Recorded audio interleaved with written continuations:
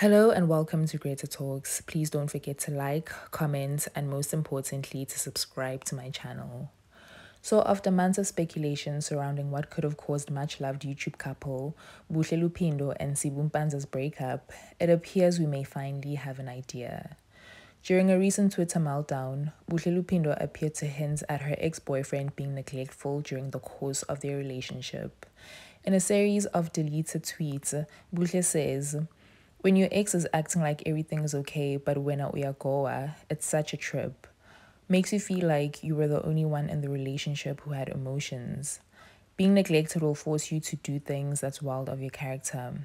What do you do when everything you asked for is what they're doing now?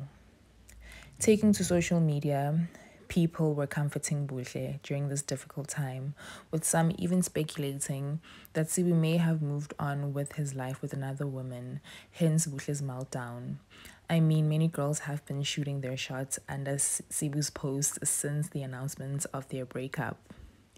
Now, Buhle and Sibu had been dating for five years and living together all this time before their sudden split earlier this year. During the course of their relationship, the couple were open about their struggle with mental health. And while things seemed okay on the surface, considering how they did everything together, living together, working together on social media platforms like YouTube, it appears they had a lot of issues behind closed doors, which ultimately led to their split this year. Now, I have a lot of sympathy for both Sibu and Buhle and wish them both nothing but healing. And while they're broken up now and don't necessarily owe each other any loyalty or anything like that, I do wish, out of respect for each other's mental health, as two people suffer from depression, that they could be compassionate enough not to publicize any new relationships so soon after the breakup or paint the next person as a villain simply because they're not as expressive of how this breakup is affecting them on public platforms.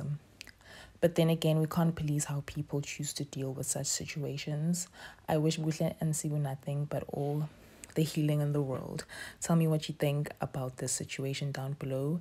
Thank you very much for watching and please don't forget to subscribe to my channel.